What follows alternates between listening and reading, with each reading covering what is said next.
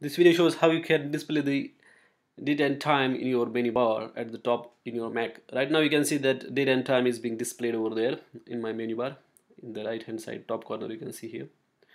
But in case uh, it is not being displayed in your Mac, how you can do that is by going to the system preferences.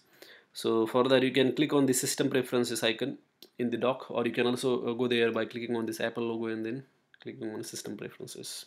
Once you do that, you have to click on date and time.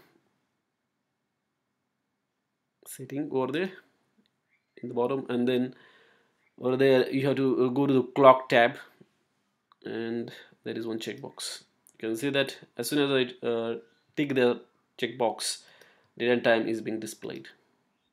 That's how you can show or hide that uh, date and time in menu bar in your Mac system. Thanks for watching this video